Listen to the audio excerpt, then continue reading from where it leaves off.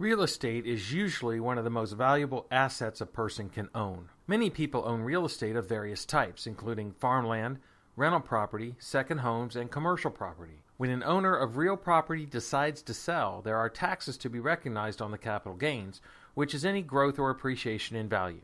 Depending on the property type, there may also be taxes owed on any recapture of depreciation. The challenge for many owners is that even though their property has substantially increased in value, their taxes can be quite large, and sometimes this discourages property owners from selling. However, there is a way for owners to sell their real property and eliminate part of the capital gain and the recapture and receive an income tax deduction. Additionally, they would receive a structured income that can pay back the full or potentially more than the property value. A legacy plan from Legacy Tree Foundation offers all of these benefits while helping those in need in America and around the world. Legacy Tree Foundation has been in existence since 1999 and has helped numerous property owners around the country sell their property while reducing their taxes. Let's look at a real life example.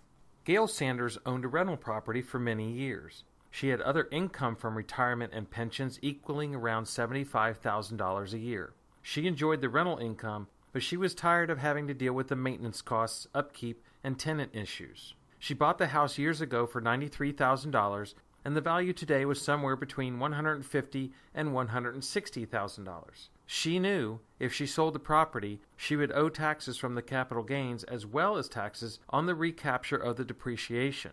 A legacy plan from Legacy Tree Foundation proved to be a great solution for her. Gail signed an option agreement with Legacy Tree Foundation giving them full legal authority to market and sell the property.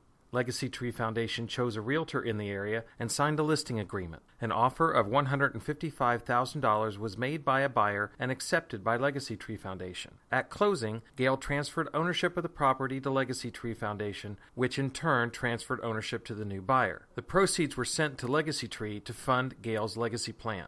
Here's what she received a tax deduction in the amount of $72,455 that she could use at the 30% deduction limit to lower her taxes for the next three years, saving her around $15,900. 47% or $29,000 of the capital gain was completely eliminated.